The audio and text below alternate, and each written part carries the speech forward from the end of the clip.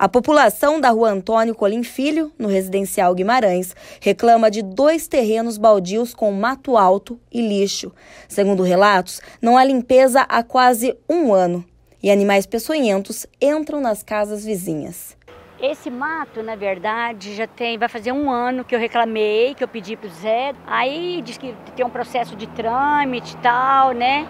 Em março, mais ou menos, eu reclamei. E quando foi esse tempo atrás, colocaram fogo, acabou o mato. Porque senão já estava no meio do asfalto, né? E aí dá bicho, o pessoal ainda joga lixo, né? E então eu liguei para a educadora hoje, que houve o um comentário da, sobre o, os buracos, né? Eu falei, está parecendo uma selva amazônica também.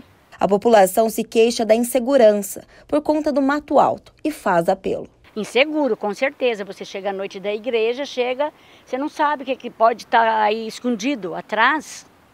Né? Agora com essa padaria aí, quer dizer, chama mais atenção. Não é? Porque é um ponto comercial que pode ser que, de repente, alguém acaba sendo esconderijo.